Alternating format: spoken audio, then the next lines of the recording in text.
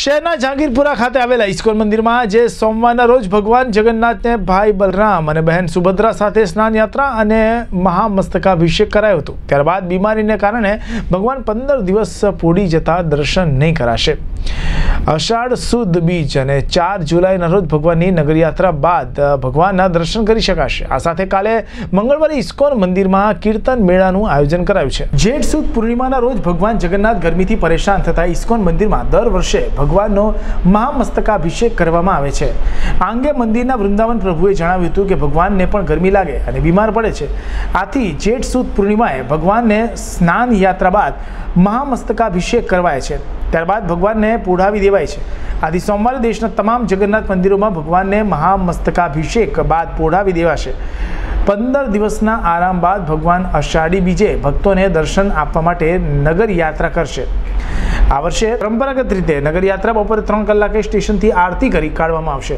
આ નગરયાત્રા ring road Udhna Darwaja, Majura gate, Athwa gate Adajan Rander road રાતે નવ ત્રીસ કલાકે ઇસ્કોન મંદિર, જહાંગીરપુરા પહોંચશે. ત્યારબાદ મંદિરના દ્વાર ભગવાનના દર્શન માટે ખુલ્લા રહેશે. આ પરંપરા જગન્નાથપુરીના રાજા ઇન્દ્રધુમ્નને કારણે પડી છે. તેઓ ભગવાન પરમા ભક્ત હતા અને જેઠ સુદ પૂર્ણિમાએ તેમના મહેલમાં પ્રગટ થયા હતા.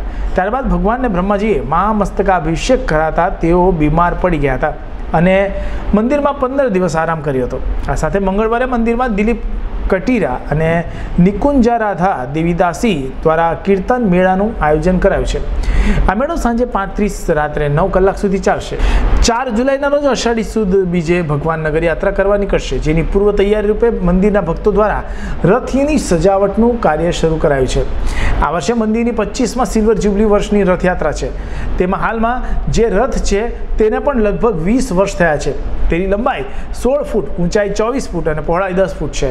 રથને ખેંચવાનું દોરડું દર બે વર્ષે નવું લાવવામાં આવે છે તેની સાથે ભગવાનના સિંહાસનને પણ નવા રૂપ રંગ અપાઈ રહ્યા છે मेरा नाम है पुष्पन चंद्र पंडा जगन्नाथ जी का पुजारी है और लंका विजय आश्रम बापू सीताराम का आज देवस्थान है पूर्णिमा है आज भगवान में पंद्रह दिन का घर में रहेंगे ना इसके लिए देवस्थान बोला जाते हैं पंद्रह दिन का बाद में भगवान रथ यात्रा में निकलता है। तो पंद्रह दिन का बाद में भगवान में दर्शन मिलेंगे। आज से बंद दर्शन नहीं मिल पाएँगे। आज भगवान ने हज़ार दिन भगवान ने आज गंगा जल में स्नान किए। इसके लिए आज से भगवान घर में पड़ गए। पंद्रह दिन तक भगवान नहीं आलती नहीं, पूजा नहीं, कुछ भी नहीं पाए। चार तारीख।